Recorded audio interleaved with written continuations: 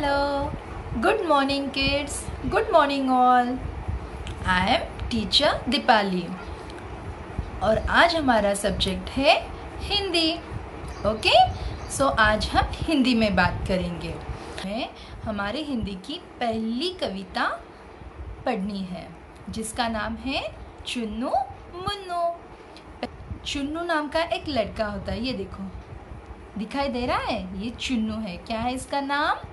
चुन्नू और उसका भाई होता है। उसका नाम होता है मुन्नू। दिख रहे ना एक जैसे? हाँ क्यों? ये पता है, ये दोनों भाई हैं।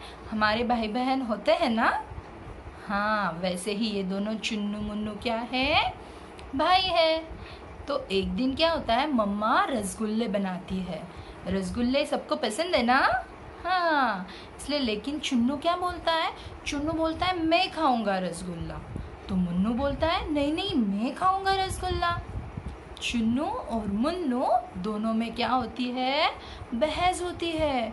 वो बहुत झगड़ते हैं कि मैं खाऊँगा, चुन्नू बोलता है और मुन्नू बोलता है, मैं खाऊँगा। इसमें दोनों की बहस होती है। इतनी ज़ोर से बहस होती है कि मम्मी को आवाज़ जाती है।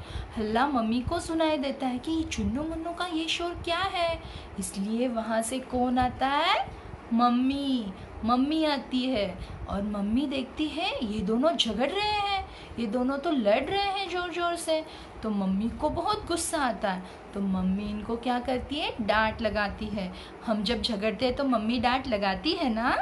हाँ वैसे इन दोनों को मम्मी डांट लगाती है और बोलती है, जो भी हमारे पास है, वो मिलजुल के खाना चाहिए और मिलजुल के रहना चाहिए। समझ में आया बच्चों?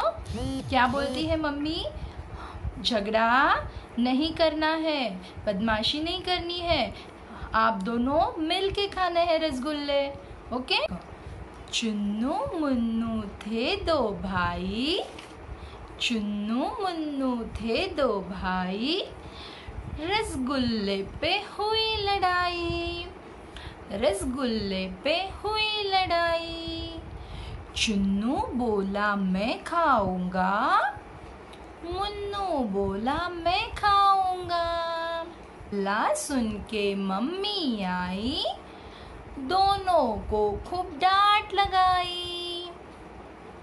कभी न लड़ना, कभी न झगड़ना, आपस में तुम मिलकर रहना।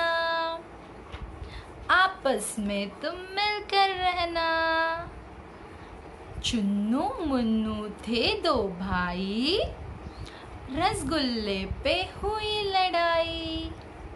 चुन्नू बोला, मैं खाऊँगा। मुन्नू बोला, मैं खाऊँगा। हल्ला सुनकर मम्मी आई। दोनों को खूब डांट लगाई।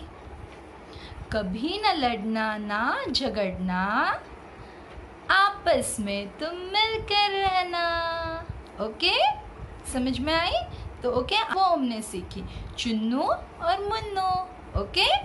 चलो बाय बाय किड्स हम बाद में और दूसरा सेशन में दूसरी कविता पढ़ेंगे। बाय